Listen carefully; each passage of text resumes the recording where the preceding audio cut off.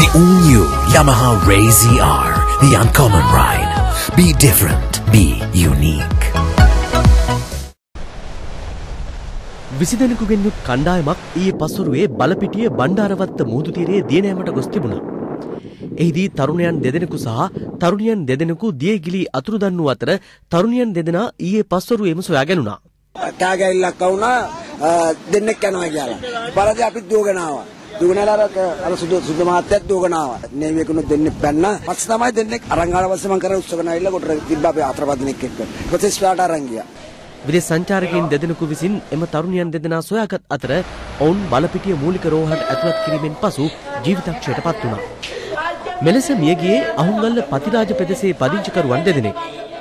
මියගිය 15 සැවරදි ලක්ෂානි වාසනා ඌරගස් මංහන්දිය පතිරාජ විද්‍යාලයේ 10 වැනි ශ්‍රේණියේ අධ්‍යාපනය ලබමින් සිටියා. ජීවිතක්ෂයට පත් වූ 34 හැවිරිදි ලියනගේ චාන්දනී එක් දරුමවක්. අතුරුදන් වූ තරුණයන් දෙදෙනා සොයා අද පෙරවරුවේ පොලිසිය යලි මෙහෙයුම් ආරම්භ කළා. මෙලෙස අතුරුදන්ව ඇත්තේ පතිරාජ ප්‍රදේශයේම 19 හැවිරිදි තරුණයන් දෙදෙනෙක්.